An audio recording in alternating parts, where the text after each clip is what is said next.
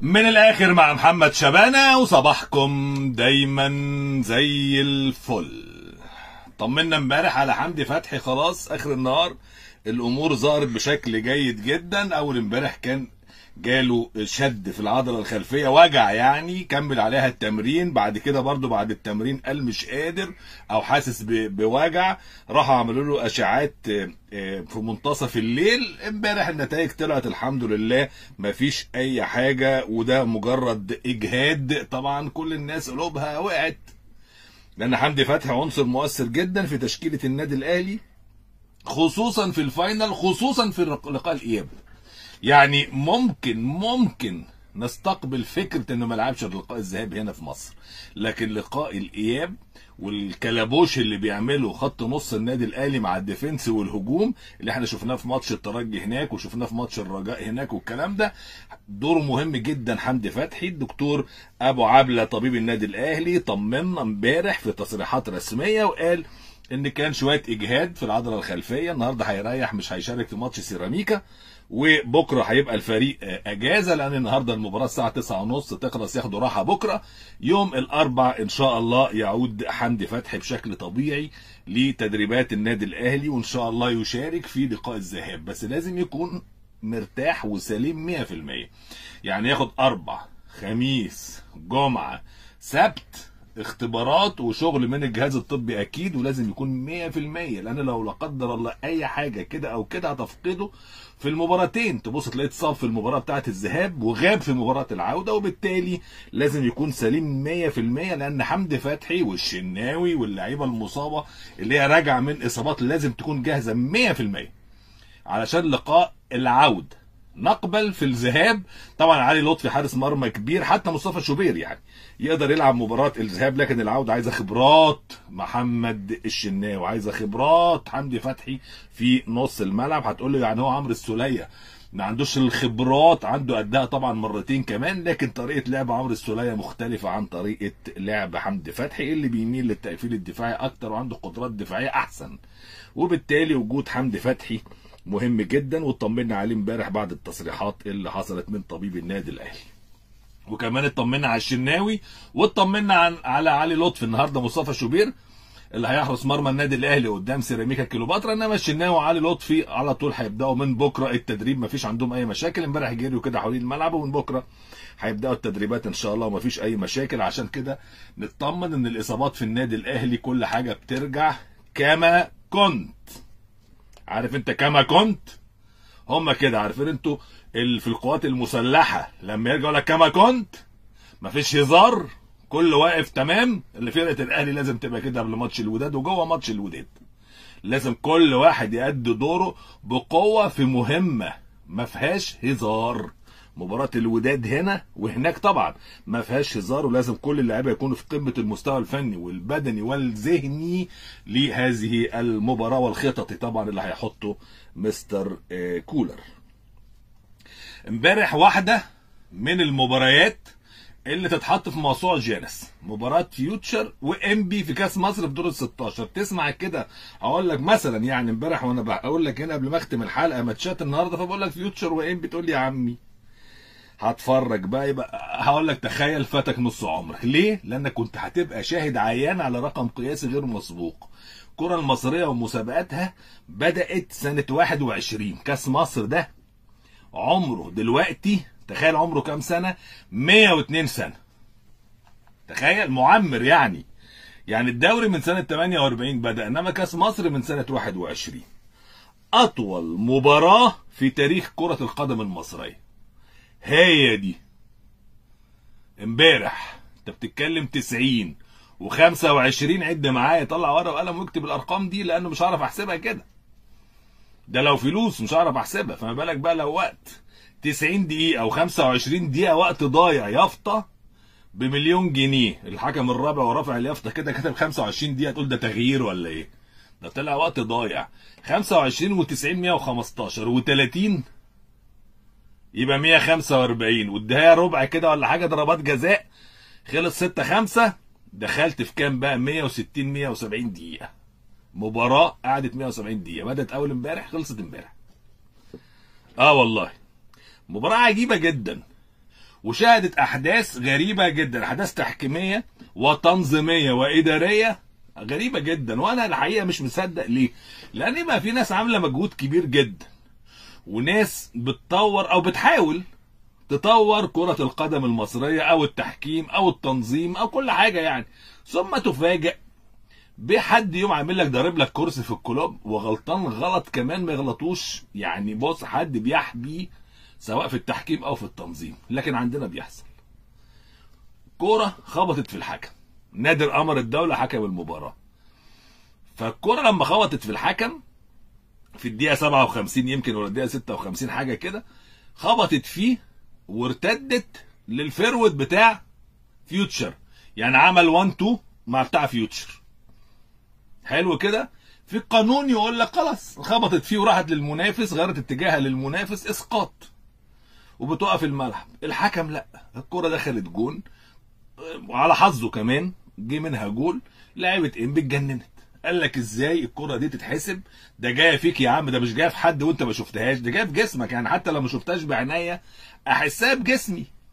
ولا إيه؟ يعني تخيل مثلا كرة طقشت فيك هتحس هتحس بالكرة ولا مش هتحس بالكرة؟ هتحس بيها يعني.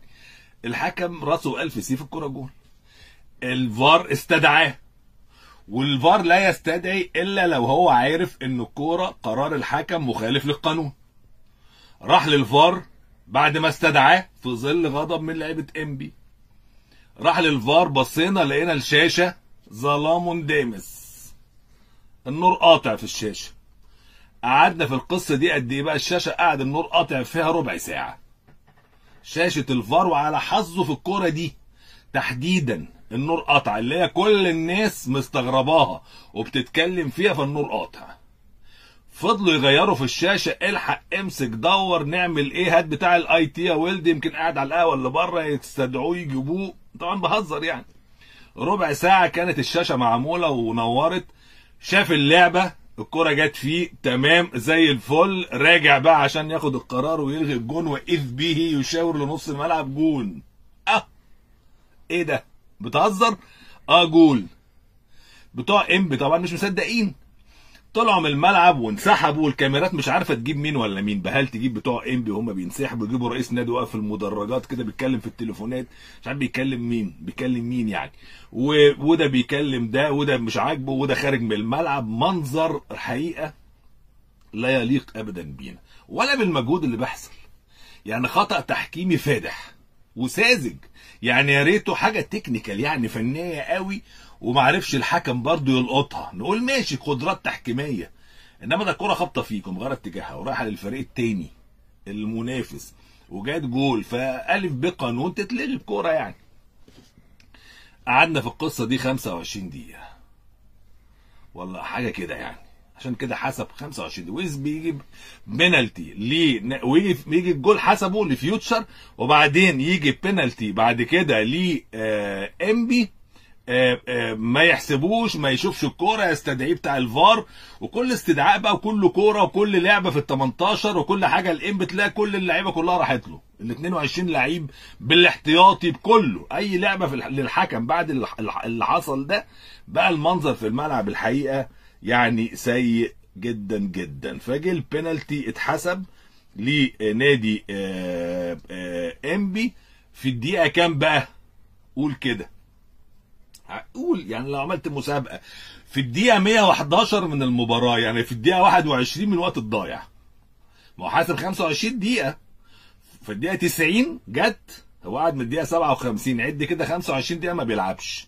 وبعدين حسب ال 25 دقيقة بعد ال 90 فالبنالتي جه في الدقيقة 90 زائد 21 في الدقيقه 21 من وقت الضايع جابها أحمد كالوشة في مرمى جنش عشان يتعادل انبي ويخش بقى الجهاز الفني مع الحكم ويطرد عبد الظاهر السقا. فيلم كده عجيب وغريب ومريب.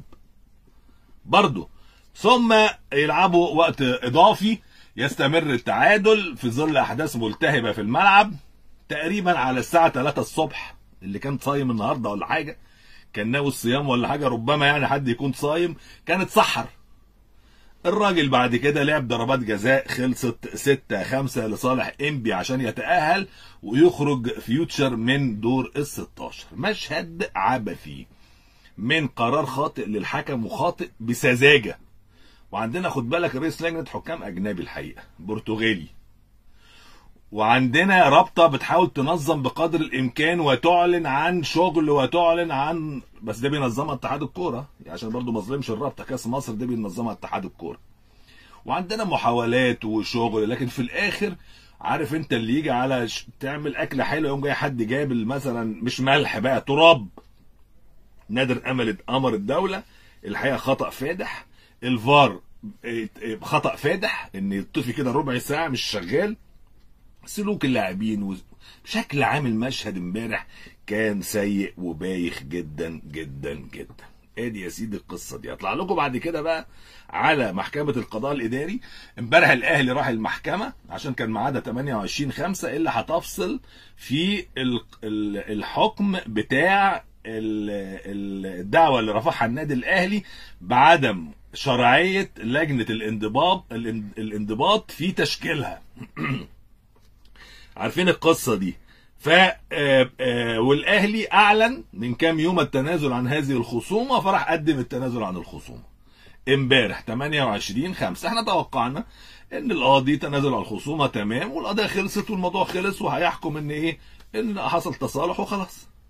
وإذ بالسيد المستشار رئيس المحكمة يؤجل القضية ليوم 25 يونيو يعني بعد تقريبا شهر إلا كام يوم من النهارده. أو من امبارح يعني. فتقعد ل 25 يونيو لجنة التظلمات المستشار عادل الشرباجي مش عارف يعمل إيه. يفضل معلق القضية بتاعه كهرباء. فاكرين إنه كهرباء كان واخد 12 مباراة ايقاف مليون جنيه والأهلي واخد 200 ألف جنيه غرامة على الجمهور بتاعه. رئيس الزمالك السابق كان واخد 300 ألف جنيه غرامة وإيقاف عن دخول المباريات ثلاث شهور.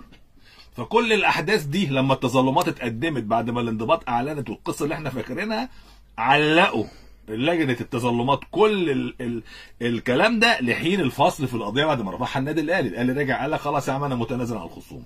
مفيش مشكلة. ليه يا عم؟ قال لك أنا اشتغلت شوية حاجات قانون كده لغاية ما سقسق فيها لغاية ما الواد يلعب ماتش السوبر.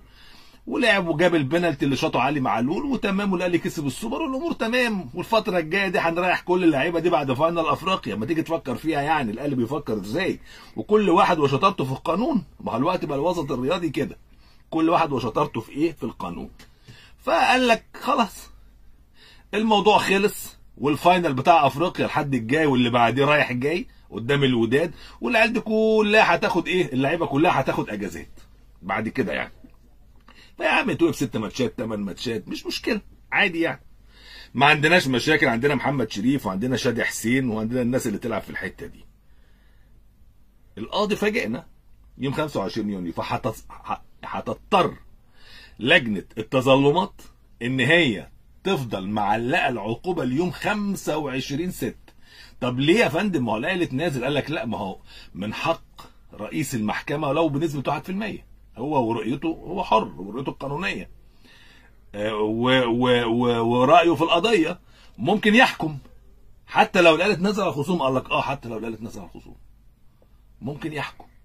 فلا مساس ولا فتح للموضوع في التظلمات إلا بعد يوم 25 6 اللي هو هينتظر تقبل التنازل على الخصوم والقضية تخلص. خلاص يبتدي هو تاني يوم 26 27 28 زي ما يكون يحكم ويفصل. ده الأهلي يوم 25 6 عنده ماتش مع السويس في الكاس يلعب كهرباء يوم 25 6 وقبلها بثلاث أيام 22 6 ماتش حرس الحدود يلعب كهرباء والمنتخب عنده ماتش يوم 18 6 كده كده في المنتخب هيلعب مع جنوب السودان الماتش الودي وعندهم ماتش أصلا مع المنتخب كمان يوم 14 6 في المغرب مع غينيا. بعد الفاينل العودة إن شاء الله اللي هيكسبوا الأهلي بإذن الله بإذن الله قدام الوداد يوم 14 6 والذهاب يوم 11 6 والذهاب هيكون يوم 4 6 يوم الأحد المقبل.